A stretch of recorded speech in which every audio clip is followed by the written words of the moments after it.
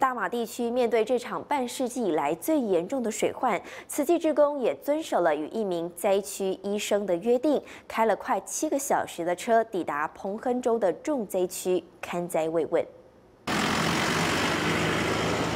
天未亮，马六甲慈济赈灾车队从会所出发，到达重灾区巴登东姑，要近七小时的车程。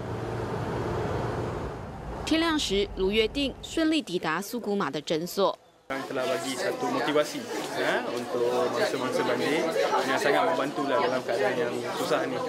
巴登东姑是彭亨州水患重灾区之一，苏古马医师主动提供资讯，请求协助，也找来村长开会，陪同职工看灾。一走入村庄，满目疮痍。纳兹里才要办婚礼，就遇到水灾，所有礼品全泡汤。一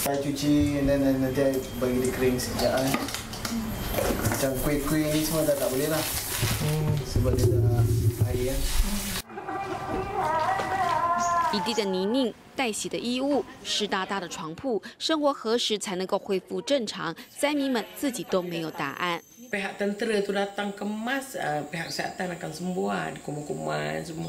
Rumah saya sembuh pun tak lagi. 而雅莎不被灾情所困，懂得拿水桶储水、清扫家园，她比别人早一步开始。这 banjir itu selepas banjir dah berhenti, kan? Kat sini air dalam paip sudah tidak ada selama seminggu.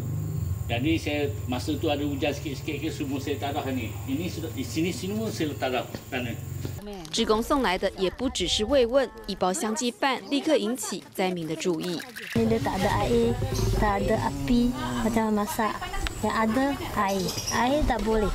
在霹雳州怡保坡达，也有慈济人赈灾发放的身影。这里的住户大多是马来人，这手一家人拉近了距离。